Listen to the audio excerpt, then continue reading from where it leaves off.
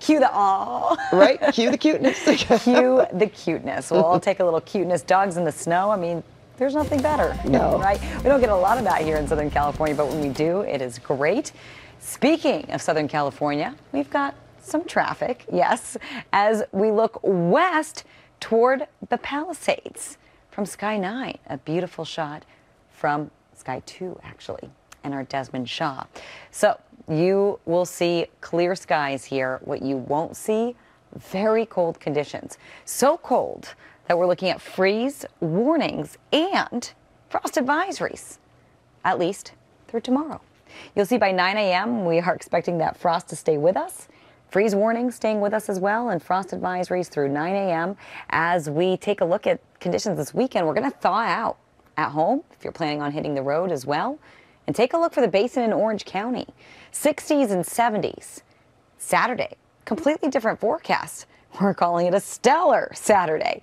By Sunday, increasing clouds. The rain returns Monday, more likely Tuesday, and a chance of showers come Wednesday.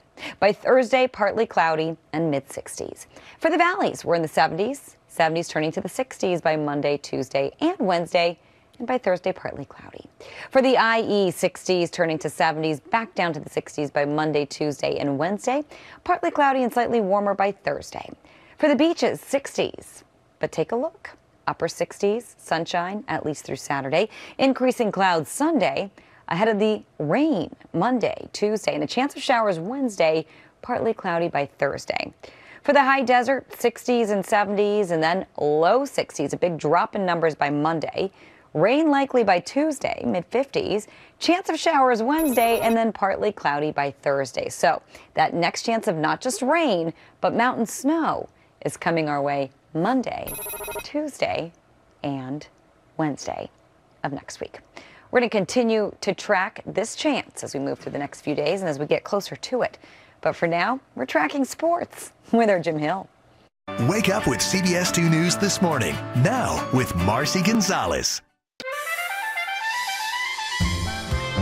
Welcome to CBS Mornings. Up next, stories you'll be talking about today. That's a big deal. People stop me on the street and say, I always learn something new every day when I watch your show. This morning, we're going to begin with some good news.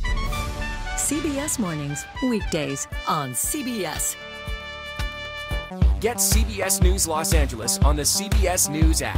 Download now. Got your phone handy? Of course you do. Scan this right here. Download the CBS LA app. And just like that, you're connected to all the best local news and videos. Now, if only everything were this easy.